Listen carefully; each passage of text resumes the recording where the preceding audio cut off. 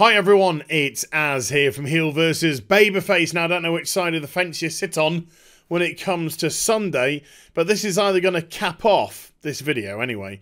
A horrendous week for Blizzard Entertainment, a meltdown week really for Blizzard Entertainment, or it's going to start off a new week complete and utterly on the wrong foot because this just will not go away.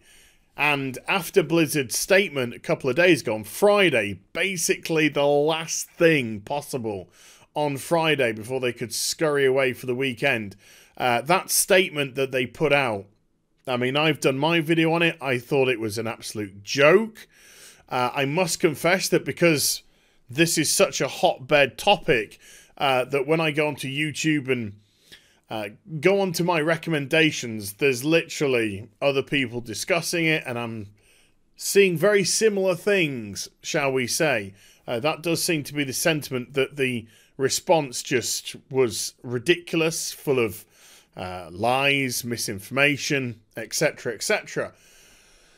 And on the day that Blizzard released that statement, on the Friday, this organization, Access Now, which deals with freedom of speech, net discrimination, uh, human rights, uh, and they've been going for 10 years now, since 2009, quite vocal. They have actually turned their attention to Blizzard Entertainment as well. And if I just scroll down, there is an article that they have here. Access Now. Uh, urges Blizzard to demonstrate its respect for human rights because this has now become a very political hotbed of an issue and reverse the penalties imposed on a Hearthstone player for expressing support for protesters in Hong Kong. Now, this is an article referencing an open letter that they sent to Bobby Kotick, which we have here. Let's just drag it across, centralize it a wee bit. And I'll go through it here. Open letter Blizzard's commitment to freedom of expression. Dear Mr. Kotick, dears, all right, I just won't do any sarcasm at all. We are writing to you in light of the recent reports of the suspension and penalisation of a Hearthstone player for expressing support for the protesters in Hong Kong we ask you to reverse the penalties and clarify Blizzard's policies and practices that affect your users' right to freedom of expression and to clarify how your policies were implemented in this incident. Now, of course, this is an open letter and Blizzard Entertainment don't in any capacity have to respond. And when you think about the fact that senators have chimed in. My God, uh, politicians from Norway uh, have sent uh, Activision Blizzard Bobby Kotick uh, letters as well, as as well as the worldwide denouncing of what happened here. Do you think Blizzard give a shit? I mean, in as much as do you think they feel they have to answer to anybody? No. Corporations no longer feel they have to uh, answer to, to government bodies at all. They rule the world, not politicians, not you know, not governments. No, no, it's it's corporations now that that rule the world. And it was very interesting when the Blizzard response came out that it came after 48 hours of complete silence where the only thing that we'd heard prior to that was we are currently evaluating our options or something along those lines. Very corporate, very calculating, and this seems to have been the response that they, they came up with. Um, and on top of that, one thing that I have expressed, and the reason why this is such, I think, a hot topic, is it isn't because Blitzchung made a political statement. Because I believe if Blitzchung made a political statement about other parties, which I've mentioned, other people, other organisations, Trump, uh, Boris Johnson, whoever it may be, uh, France, Australia, I don't think we would have seen anything like this whatsoever. The issue has has happened because it's a political uh, denouncement, um, show of solidarity, support against China, and that is the that's the hotbed. Not that it was a political, but because it was a political uh, statement against China. That's that's the big thing. Access Now is a global organization working to defend and extend the rights of users at risk. We promote the right to freely express oneself, a human right enshrined in international law. In the digital age, the providers and platforms that deliver access to networks, applications, and services enable realization of free expression and other human rights. With this power, these companies retain a particular responsibility to respect and promote our rights. Now, when it comes to, I mean, obviously, there are horses for courses here because uh, everybody is fully aware and does acknowledge that Blitzchung did break the conditions of the competition. They understand that. We understand that.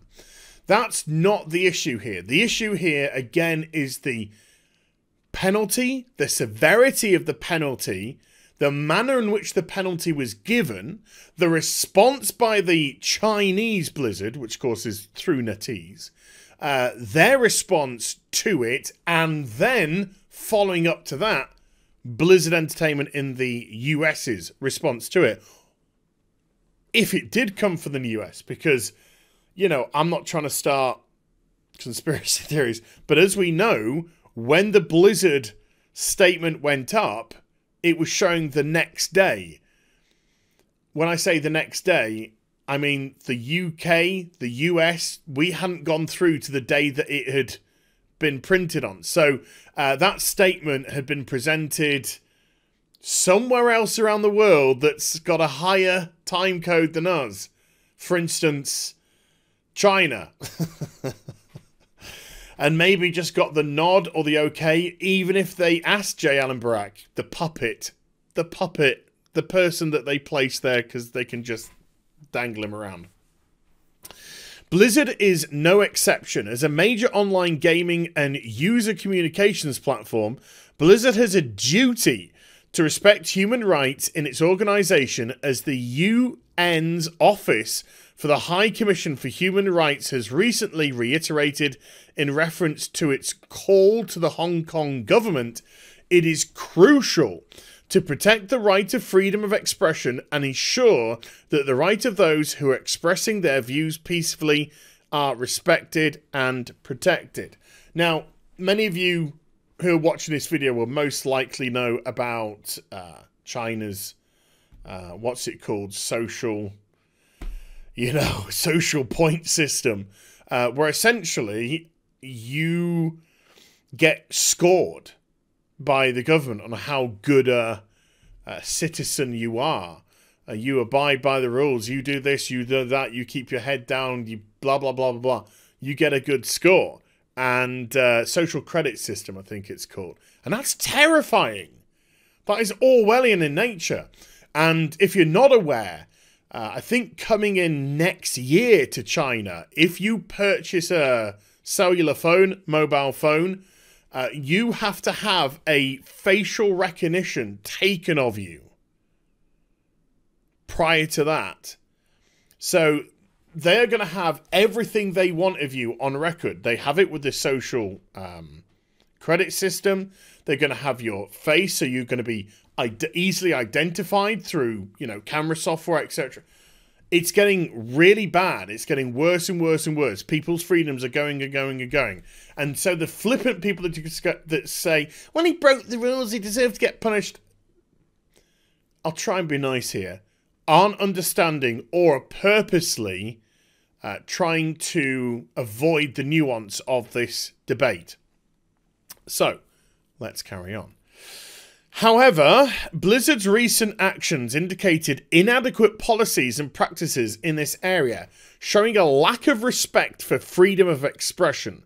According to statements made on the Hearthstone blog, The, uh, the player was penalized for violating Hearthstone's comp uh, competition rules set by Blizzard. The two stream casters interviewing the player saw their contracts terminated.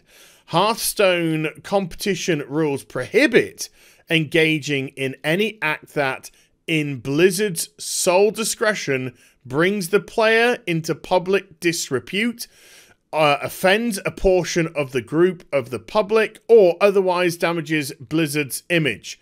Such wide discretion facilitates arbitra- uh, arbitrary. So, what I uh, said the other day, uh, these rules are so um, open to abuse. They, they, they are so flimsy. They are non-specific that Blizzard can choose whatever it wants, can do whatever it wants when it comes to some sort of expression. And uh, I think that's uh, one thing that they really want to clarify here. They want to really make um, set in stone what are your policies? What would constitute um, you know, making Blizzard look bad, offending a portion of the. And I think the offending the portion thing is ridiculous because let's just face it, everyone's fucking offended nowadays. The whole world's offended for goodness sake. Um, so again, it, they're so open for abuse these these rules that they have uh, that it can be really unfair for people participating. And uh, yeah, facilitates arbitrary implementation uh, implementation of what appears to be intentionally vague policies, as I went through. By penalising a player for speaking up in support of protesters, exercising their right to freedom of expression, as well as assembly and association, Blizzard demonstrates a lack of respect for the human rights of the user.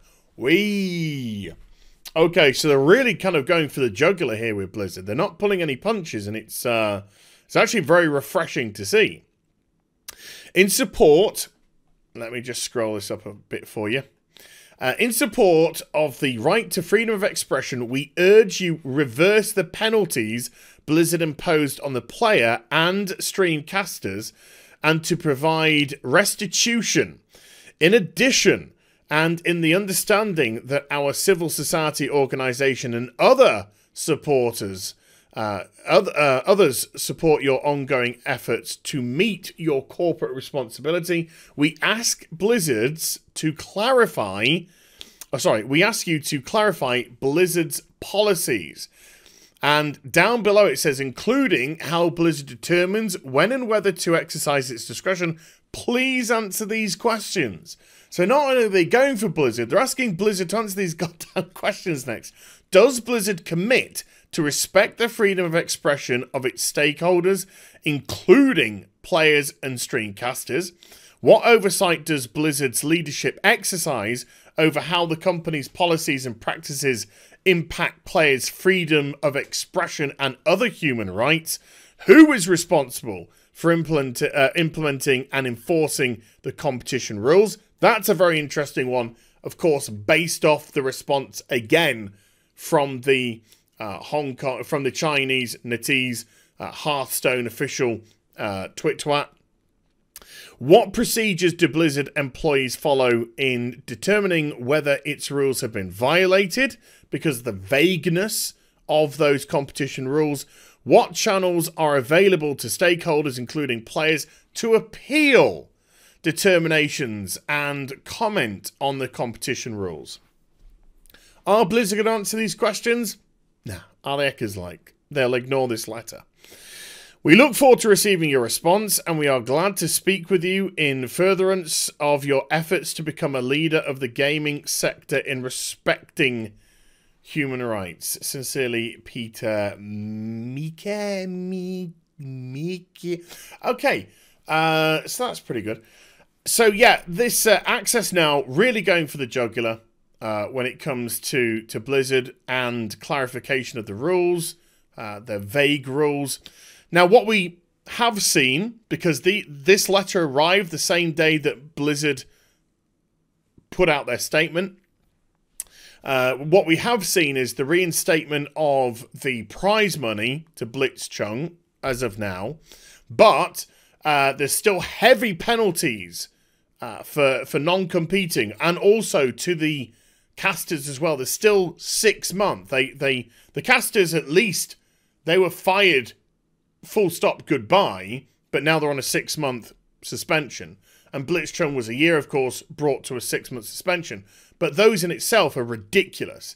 And as I commented in my last video, uh, I believe this to be Blizzard desperately trying to, um, in some way, appease the outcry mob and also appease China uh, to show, yes, masters are masters and overlords.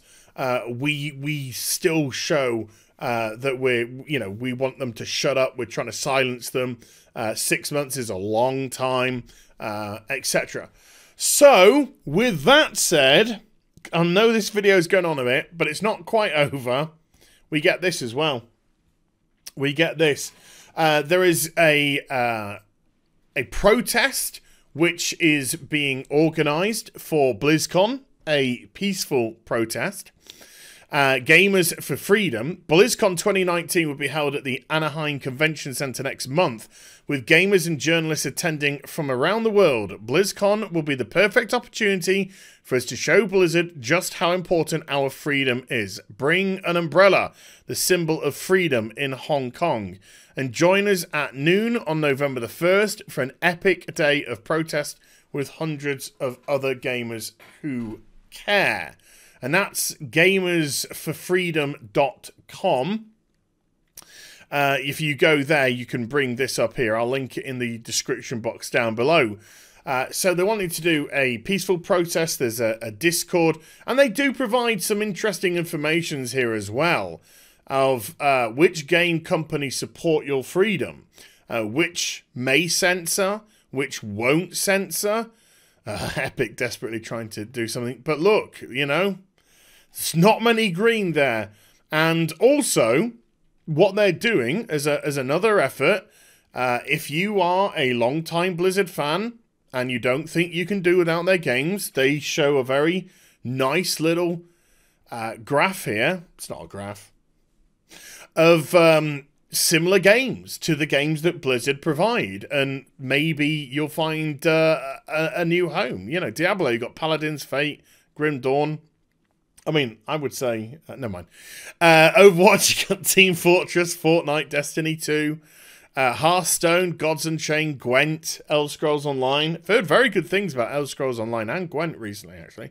Uh, World of Warcraft, Elder Scrolls Online, Final Fantasy 14, uh, Lord of the Rings Online. Don't. Uh, StarCraft again. So uh, offering um, offering alternatives for people, and then you know, obviously what's been discussed and what has been going on in recent times. Oh, is that the new Blizzard mount? The Tiananmen tank? Is that going on the Blizzard store? Hey, everybody. The new store mount is the Tiananmen tank. Crush freedom and unarmed students with our uh, so there we go. Things are happening, and it's just not stopping for Blizzard. And it's going to be very interesting to see if they're going to stick to their guns as regards to this statement that they put out, or um, they're going to have to rethink that as well. But uh, it isn't going anywhere. Isn't stopping anytime soon. This boulder is going down the hill, and it's smashing through everything it can. So I hope you enjoyed the vid. If you did, do give it a thumbs up and also subscribe to the channel. Follow me on social media and Twitch for live streaming links. They're in the description box down below. And I'll be back with some more stuff very soon. You take care. Bye for now.